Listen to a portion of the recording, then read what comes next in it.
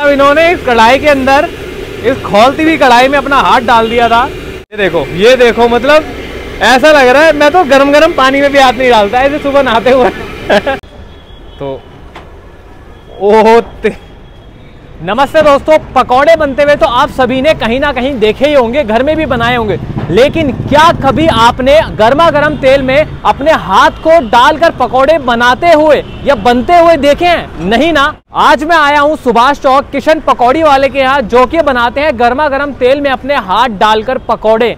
अब इस बात में कितनी सच्चाई है वीडियो को पूरा देखना आपको पता चल जाएगा। फटाफट से चलते हैं जानते हैं और देखते हैं भाई इनके गर्मा गर्म तेल में हाथ डालकर बनाने की जो पकौड़ों की जो विधि है ना वो मैं आपको दिखाता हूँ। आ जाओ। जी ये है इनकी दुकान नाम है किशन पकौड़ी वाले। तो यहाँ पर जैसे कि आप देख सकते हो अभी भीड़ भी लगी हुई है और यहाँ पर जो मेन है वो है ये पकौड़ियाँ। अभी किस चीज़ की होती है ये मैं आपको थोड़ी देर में बताता हूँ। फ़िलहाल आप यहाँ पे इसका मसाला देखिए। ये देखो जी ये है पकौड़ियाँ और हमारे साथ है किशन पकौड़ी वाली के ओनर नमस्कार भैया जी। नमस्कार जी क्या नाम है नमस्कार। आपका? कन्हैया सिंह लोधा। ओके तो मुझे ये बताइए कि ये जो पकोड़े हैं और ये जो मसाला है सबसे पहले तो मैं जानना चाहूँगा कि ये मसाला किस तरीके से तैयार होता है? ये सर चोला मोगर की दाल होती है।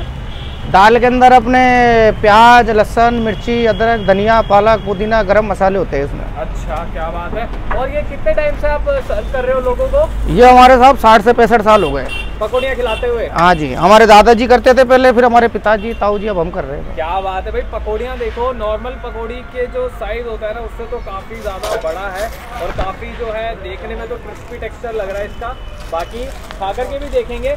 एंड भैया कोई आप तक आना चाहे तो क्या रहती है टाइमिंग और एड्रेस एक किलो।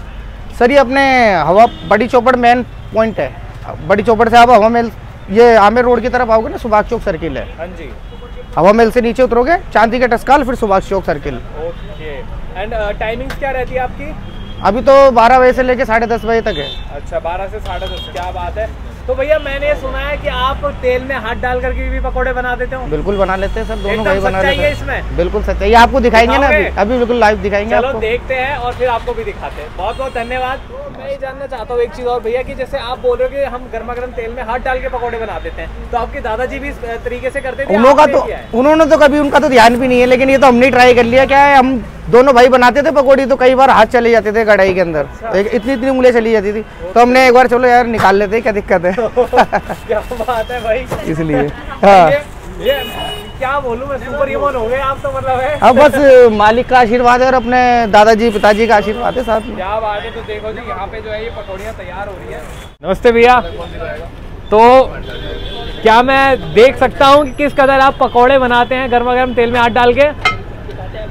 ये देखो जी, यहाँ पे जो है ये इनका मसाला है पकौड़ियों का और ये तैयार कर रहे हैं भैया यहाँ पे और ये देखिए किस तरीके से, जैसे टिक्की की वो होती है ना क्या बोलते हैं, टिक्की की शेप होती है, उस कदर जो है थोड़ा सा ये क्लोज से दिखा दो मेरे को एक बारी।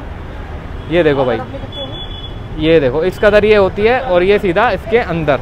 ये देखो इस कढ़ाई के अंदर क्या मस्त पकौड़ियाँ बन रही है भाई गर्मा गर्म एकदम, सर्दियों का टाइम वैसे ही है और चाय के साथ ये मिल जाए या मिल जाए चटनी के साथ, मज़ा आपका आ ही जाएगा। आप सभी को इंतज़ार है ना कि गरम गरम तेल में कोई इंसान अपना हाथ आखिर कैसे डालेगा और क्यों डालेगा? मुझे भी इसी का इंतज़ार है तो चलिए देखते हैं तो ओह भाई साहब, ये यकीन नहीं हो रहा है मेरे को। एक और दोबारा करोगे? ओ शिट भाई, ये तेल इतना खोलता हुआ है ना, और उसमें इन्होंने अपना हाथ दिखाना एक बारी। भाई, हाथ पे खरोच तक नहीं है ऐसे पलटना। कुछ नहीं हुआ है भाई, हाथ में दोबारा डलवाने में भी दर्द होगा वही ठीक है ओके। ओ, ओ भाई। भाई साहब देखा आप सभी ने कि किस कदर इन्होंने इस गर्मा गर्म खोलते हुए तेल में मैं इससे इतनी दूर खड़ा हूँ यहाँ तक मुझे इसकी गर्माहट महसूस हो रही है और ये दोनों भैया इसमें हाथ डाल करके अपनी पकौड़ियाँ निकाल रहे हैं। भाई क्या बात है। यहाँ पे ही असली खतरों के खिलाड़ी चल रहा है। असली खतरों के खिलाड़ी सुनील शेट्टी सुनील शेट्टी कह रहा हूँ रोहित शेट्टी को कोई बताए कि यहाँ हो रहा है यहाँ आए। ये देखो फ्लेम देखो यार। कितनी तेज फ्लेम है और क्या तेल खोल रहा है और क्या इन्होंने हाथ डाला। वो भी एक ने नहीं, दोनों भाइयों ने। क्या बात है भाई। गजब के आदमी हो दोनों। ये देखो ये देखो मतलब ऐसा लग रहा है, मैं तो गरम गरम पानी में भी हाथ नहीं डालता, ऐसे सुबह नहाते हुए। उसमें भी ठंडा मिक्स करना पड़ता है। भाई देख रहे हो, लोग भी यहाँ पे जो है, इनके पकौड़ियों का आनंद ले रहे हैं। तो चलो हम भी टेस्ट करते हैं। ये तो देख लिया आपने। आप टेस्ट करके बताते हैं कि टेस्ट में कैसा होने वाला है। मतलब यार मैं मजबूर हो गया मेरा फ्रंट कैमरा ऑन करने पे कि मेरे को समझ में नहीं आ रहा कि क्या चक्कर है। मतलब वाइट डर लग रहा है कि दोबारा मतलब हम देखते ही डर गए हैं कि दोबारा बोले सकते भैया दोबारा डाल के दिखाना एक बार दो एक बार के इन्होंने तीन चार बार तो ऑलरेडी डाल चुके हैं। अब नहीं बोलेंगे क्योंकि हमको दर्द होने लगा है। भैया आए कर दो एक बारी। भाई कमाल है भाई कमाल है टेस्ट करते हैं ये जो बैटर आप देख रहे हैं ये जो ये देखो जी कितना ह्यूज क्वांटिटी में है। भैया एक दिन में अगर मैं मानूं कि कितना आप ये बना देते हो? साठ सत्तर किलो दाल कर साठ से सत्तर किलो निकल जाता है। अच्छा सीज़न के टाइम ओके और इसके बारे में आप कुछ बता रहे थे मुझे? ये अपनी कच्चा मसाला देते हैं ये घर पे बनाने के लिए। जैसे आपको ठंडी हो जाती है ले जाते ले जाते तो ये घर पे ले जा करके कोई प्रोग्राम है फ़ंक्शन है कच्चा मसाला ले जाओ। घर पे तेल गरम करो और बनाओ बस। बाकी सब रेडी है इसमें। क्या बात है मतलब पूरा टेस्ट आएगा आपको भाई। बस यहाँ से पैक कराओ और ले जाओ। क्या बात है। तो भैया प्राइसिंग क्या रहती है आपके मसाले की? ये कच्चा मसाला अपने एक सौ साठ रुपये किलो है। एक सौ साठ रुपए किलो। और जी। पकौड़ियों का? पकौड़िया का दो सौ चालीस रुपये किलो। चालीस रुपए किलो ओके। ये देखो जी भाई कितनी बढ़िया है।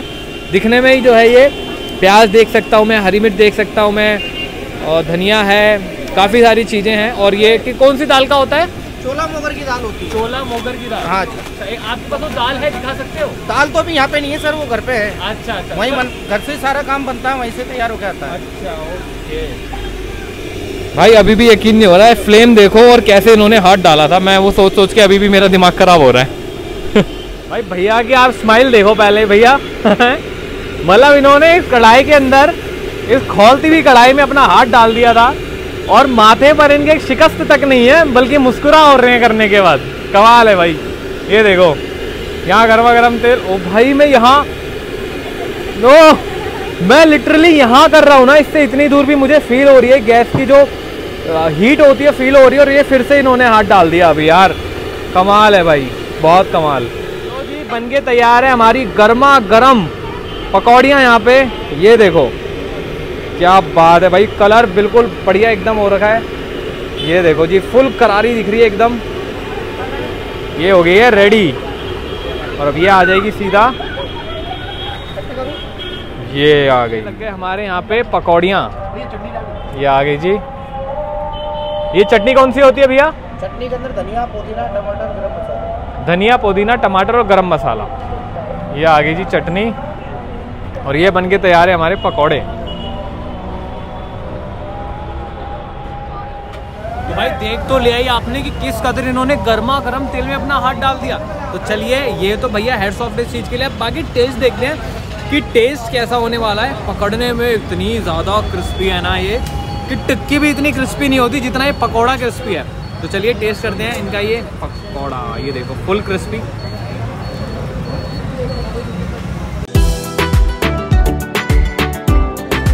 देखो, अंदर से देखो।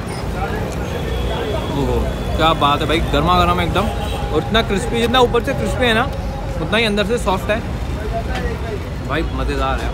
ऐसी पकौड़ियाँ मिल जाए ना, गर्मा गर्म, मज़ा आ जाता है। स्पेशली सर्दी में मिल जाए तो और क्या चाहिए? इसकी अगर मैं बात करूँ ना, काफ़ी ज़्यादा क्रिस्पी तो पहले टेक्सचर है इसका। अंदर जैसे मैंने बोला सॉफ्ट है, वो खाने में ना हल्का सा आपको तीखापन महसूस होगा, क्योंकि राजस्थान आए हो यार और आपको तीखा ना महसूस हो, ऐसा हो ही नहीं सकता। एक ना तीखापन तो है और मसाले जो है ना जो इन्होंने इसमें यूज़ करें आहा क्या मज़ेदार है। मज़ा आ गया खा के इसको। बहुत टेस्टी है भाई अगर कभी आ रहे हो ना जयपुर तो उसको ज़रूर ट्राई करना। वाकई में बहुत स्वाद है ये। चाहे चाय के साथ ले लो चाहे यूँ ले लो बट लेना चटनी के साथ हरी वाली चटनी खाओ मज़ा आ जाएगा साथ में। हम्म, हल्का हल्का तीखापन मज़ेदार। स्वाद भाई की बहुत बढ़िया है। इनके स्वाद को भी सल्यूट और इनकी डेयरिंग को भी सल्यूट इनके टैलेंट को भी सल्यूट हम मिलते हैं एक और नए स्वाद के साथ, एक नई वीडियो में। तब तक के लिए बाय बाय टेक केयर